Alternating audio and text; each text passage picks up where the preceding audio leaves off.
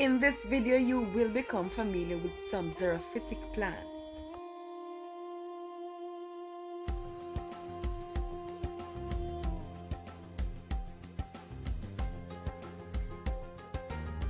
In harsh desert climates or extremely cold climates, where little water is available to plants, they must adapt to be able to survive.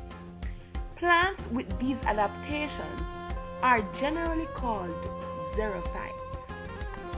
Xerophytes are plants which are adapted to a dry, arid habitat such as deserts or sand dunes.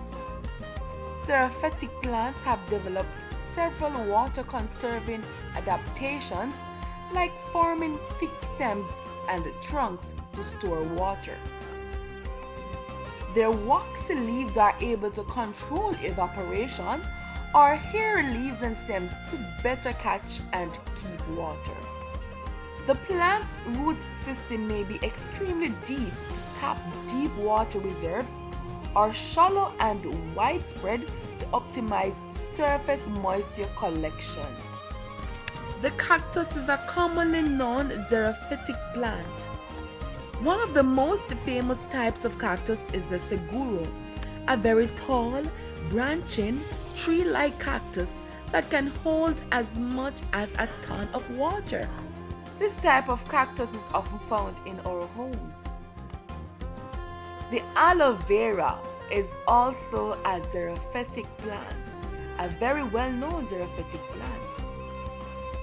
The desert trees are another category of xerophytic plants. Some tall trees survive well in desert conditions, although most desert plants are small.